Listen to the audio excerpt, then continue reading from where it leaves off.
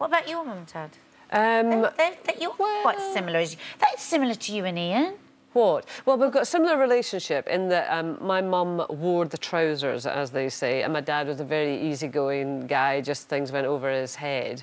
I mean, that makes him sound simple. He wasn't simple. but, you know, he was just a, an easygoing, everybody liked him kind of guy, and my mum's a bit more like that. And that's Like the you. same with us. Yeah. is. yeah, Can yeah, we just come back? What tortured artist?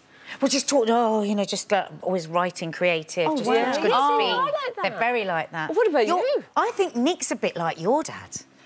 What, facially or be- Well, behaviour? Or, no, 'cause no, not- facially they don't look like each No, other. No, no, not facially, but there's a sort of there's a vibe that is similar to me.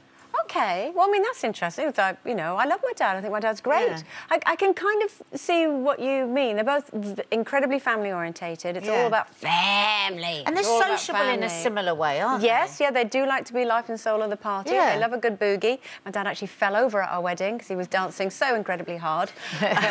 um, um, but actually, yeah, and they do, I suppose, like things their own way. They have their own mm. set ideas on mm. things. So you might be able to correct in him what you couldn't correct in your dad. Yeah, are you unbelievable correcting them? Well, that's what I do with Mark. It's like, oh, oh, oh. You know, they pop up. It's like and pop them back down. My